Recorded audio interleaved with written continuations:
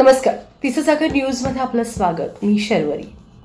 ती माता ती भगिनी ती सहकारिणी ती सहचारिणी ती ती ती तिच्या विना सारं हे विश्वच अधुरं असलेली ती.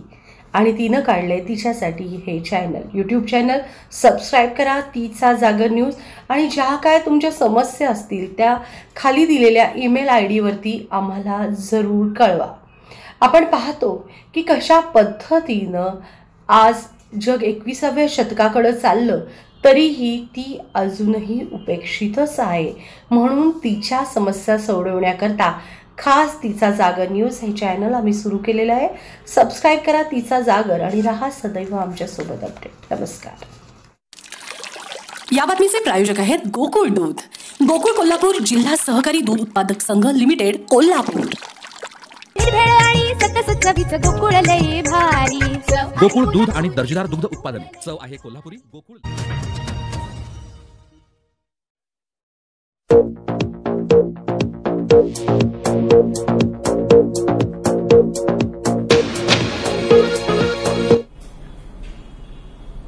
नमस्कार मी प्राजक्ता.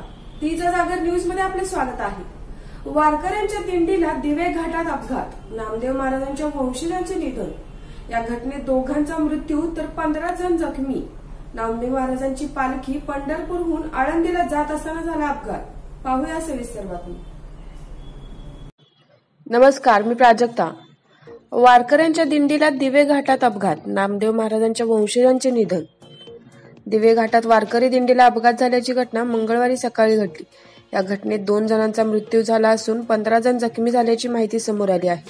या घटनेत संत नामदेव महाराजांचे सतरावे वंशज सोपान महाराज नामदेव यांचं अपघाती निधन झालं आहे. दरम्यान जखमींवर हडपसरमधील नोबेल हॉस्पिटलमध्ये उपचार सुरू आहेत.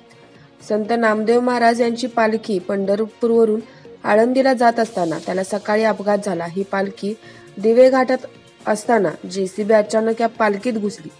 या घटनेत संत नामदेव महाराजांचे सतरावे वंश सोपान महाराज नामदेव आणि अतुल महाराज आळशी अशी निधन झालेल्यांची नावे आहेत. दरम्यान जेसीबीचे ब्रेक यापूर्वी निकामी झाले होते.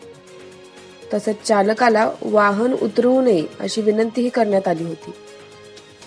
अशी माहिती प्रत्यक्षदर्शी राहुल भीमराव बंडगर यांनी दिली आहे. सर्व वारकरी चहा पाण्यासाठी एका ठिकाणी थांबले होते. याच ठिकाणी हा काही अंतरावर जेसीबी होती. जेसीबीचे ब्रेक निकामी झाल्याची माहिती समजल्यानंतर चालकाला आम्ही उतारावरून वाहन आणू नका अशी विनंती केली होती. परंतु अर्धा तास थांबल्यानंतर चालकाने पुन्हा जेसीबी सुरू केलं. उतारावरून येत असताना त्यानं पाहिले एक रिक्षा रिक्षाला धडक दिली. आणि त्यानंतर काही वारकरी हे जेसीबी खाली आहे आले. त्यापैकी दोन जणांचा मृत्यू झाला तर काही जण जखमी झाले असल्याची माहिती आहे. ब्युरो रिपोर्ट तीचा जागर.